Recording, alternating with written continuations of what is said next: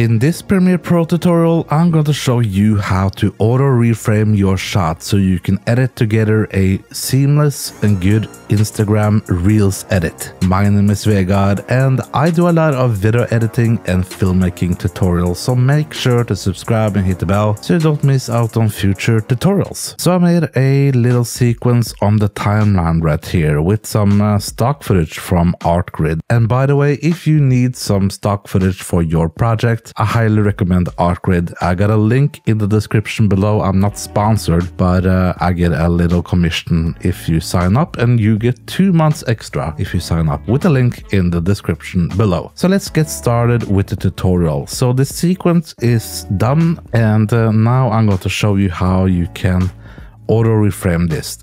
Now inside of Premiere Pro we have something that is called auto reframe and that is AI editing. So the artificial intelligence inside of Premiere Pro will calculate everything together and show your videos in any aspect ratio that you need really. To get started reframing our sequence we need to go into our project folder and find our sequence.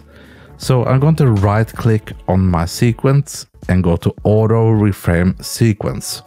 Then you will get this little dialog box up here and there's two settings that we are going to look at. We are going to see the aspect ratio. So you can choose between a one by one square. So that will be perfect for Facebook or Twitter and um, your um, uh, Instagram feed. And uh, you can also choose vertical 4x5, vertical 9x16, and horizontal 16 by 9 of course. And a custom value if you want to have a custom aspect ratio. But the perfect aspect ratio to use for instagram reels are vertical 4 by 5 the next option is the motion tracking and it's set to default, but you can also choose to have it in a slower motion or faster motion. And what that basically means is that it will choose how fast it will keyframe uh, back and forth between the clips. Uh, and I will show you that after we have done the sequence. But for now, I'm going to show slower motion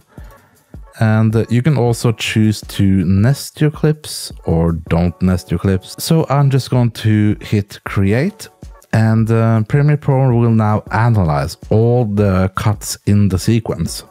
So if you see down here, analyzing for auto reframe and it will take a little while depending on your footage, but uh, it doesn't take that long. It looks like Premiere Pro is already done analyzing our clips. So Let's take a look at how it looks. Our subject is in the middle of the frame and that is what the artificial intelligence is doing. And to me, it looks like it's doing a pretty good job of that. And now we can go to effect controls. And here you will see the auto reframe option. And you can change from the slower motion and choose a faster motion.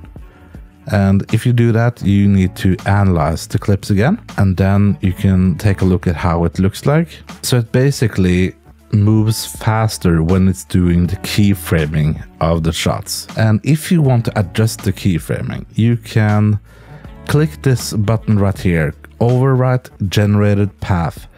And if you do this, you will see all of the keyframe for each individual clip. So for example, right here, uh, we can see that there is a keyframe right here. And if we drag this around now, you will see that it's it's different. On the screen right now, you will see a video that you can click and watch next. And if you haven't yet, make sure to subscribe and hit the bell. Thank you so much for watching. Create and inspire. I will see you in the next video.